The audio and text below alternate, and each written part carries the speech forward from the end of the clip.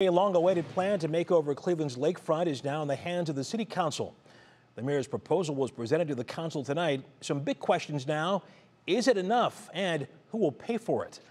Our Lydia Esparra has details and reaction. Tonight, Cleveland City Council introduced legislation for a tax increment financing program, or TIF. Establishing the shore to core to shore TIF district, declaring improvements to certain parcels of real property within that district to, to be a public purpose and exempt from taxation. A shore to core to shore plan by Mayor Justin Bibb to divert a portion of future increases in property taxes to pay for public infrastructure downtown on waterfronts. The monies will also come from federal and state funding with the intent to provide the local match. The creation of the nonprofit North Coast Waterfront Development Corporation would allow philanthropic donations towards the master plan. It's thinking big. It's thinking big so that that we are giving ourselves a huge new tool. A new tool indeed. Imagine five public squares. That's how big the shore to core will be. It will include a 22 acre site stretching from Burke Lakefront Airport to the Port of Cleveland. The plan refers to it as the front porch of Cleveland.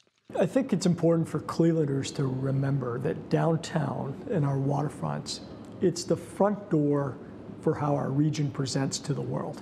Based on residential surveys, we could see 60% lakeside dining, 58% festivals, 50% of arts and cultural events, and 48% sandy beach. Policy Matters Ohio doesn't see the plan as a win win for Cleveland.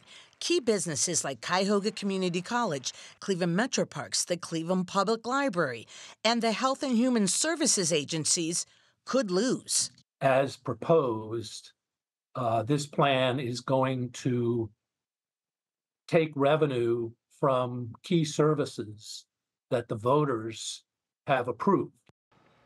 Now, this is a 20 to 30 year vision plan for the city, but construction is set to start within the next two years and complete it, Russ, the next 10.